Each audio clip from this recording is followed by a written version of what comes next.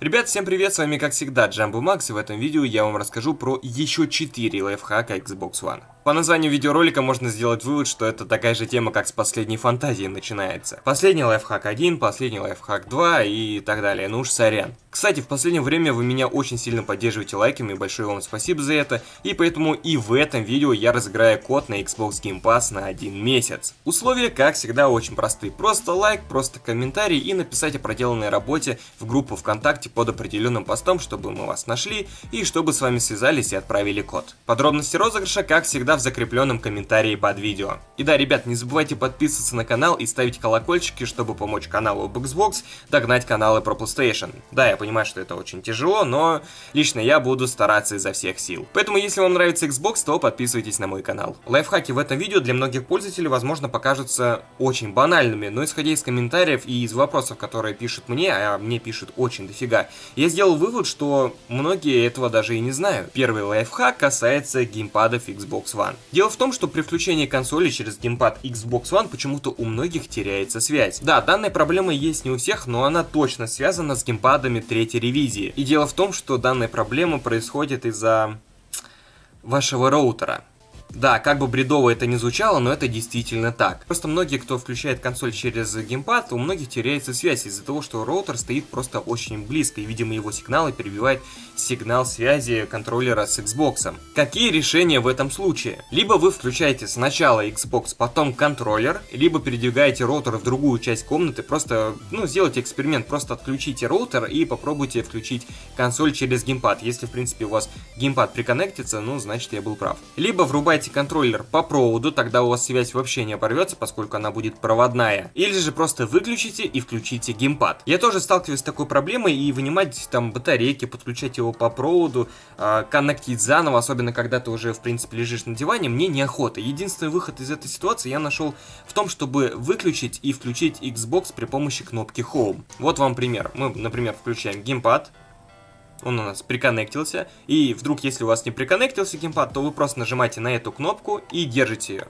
Держите ее до тех пор, пока у вас геймпад просто не выключится. Это произойдет где-то в течение 7 секунд. Он вырубился, теперь нажимаете обратно, и геймпад включен. Это такой самый-самый негеморройный способ, и в принципе я им пользуюсь. Если вдруг у вас геймпад не коннектился, то при выключении включения у вас он по-любому приконнектится, и вам не надо будет вставать с дивана. Второй лайфхак касается покупки по дешевке аксессуаров для Xbox One. Все мы знаем, что в интернет-магазинах, особенно на AliExpress, дофига всяких аксессуаров для Xbox One. Всякие держатели, насадки, держатели для геймпадов, подставки для консолей и так далее. И прикол в том, что покупая что-то через интернет, мы можем пользоваться кэшбэк-сервисами, к примеру, Smarty Sale. Просто заходите на сайт, выбираете нужный магазин, что-то там покупаете, и потом вам возвращается процент от вашей покупки. То есть какие-то аксессуары для Xbox One и прочие товары вы можете купить еще дешевле за счет того, что вам просто вернется часть суммы обратно. Ссылочку на сервис оставлю в описании, поэтому пользуйтесь и возвращайте свои деньги. Третий лайфхак заключается в том, чтобы брать игры по голду, которые раздаются для Xbox 360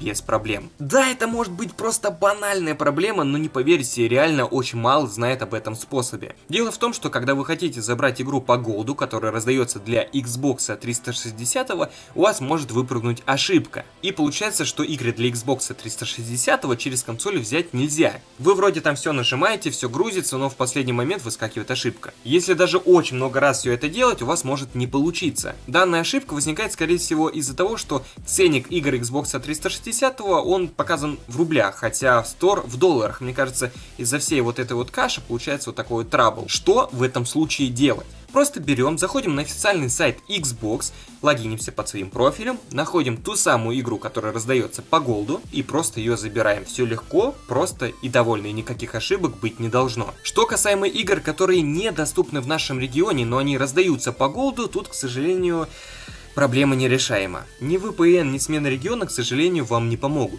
Чтобы забрать игру от Xbox 360, вам по-любому нужна будет банковская карта. И в данном случае нужна карта конкретного региона, в которой раздается недоступная игра. Российская карта, к сожалению, не привязывается ни к одному из регионов, кроме, конечно же, России. И, соответственно, на американском регионе у вас не будет карты, что вам не позволит взять игру от Xbox 360. Единственный выход с этой ситуации это просто иметь американскую карту, привязать ее к профилю к американскому региону, региона и просто забрать игру. Многие подумают, блин, у меня уже привязана карта, я сейчас сменю регион, у меня все получится. Нет. Привязанная карта к профилю, а не к конкретному региону, это большая разница. Следующий лайфхак крайне в этом видео связан с подключением геймпада к телефону по Bluetooth. Телефоны многих пользователей почему-то не могут приконнектиться к геймпаду Xbox One. Дело в том, что у них либо возникает какая-то ошибка, либо у них требуется какой-то неизвестный пароль. Недавно мне написал мой подписчик Артеми и предложил один из способов решения проблемы, за что ему большое спасибо.